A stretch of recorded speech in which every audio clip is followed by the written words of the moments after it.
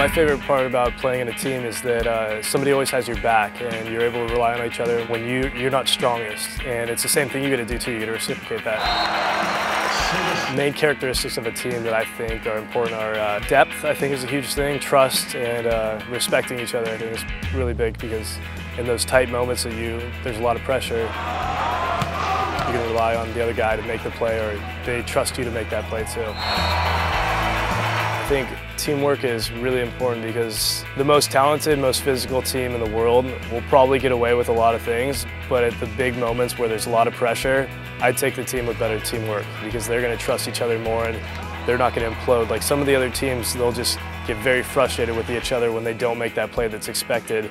But if you have that teamwork and you trust each other, I think you're good to go.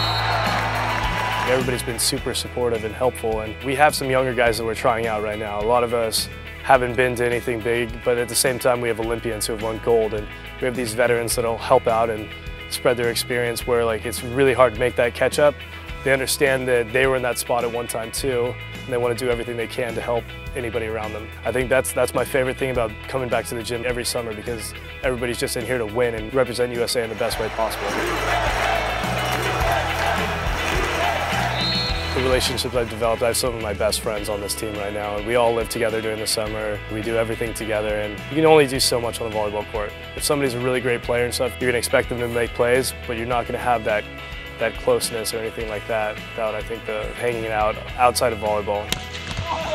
We win a match out here, it's never just one guy. You can't win with one guy, so I think that kind of spreads to all parts of your life, and I think it's a good thing because you're a little more humble, I think. That's pretty huge in this sport.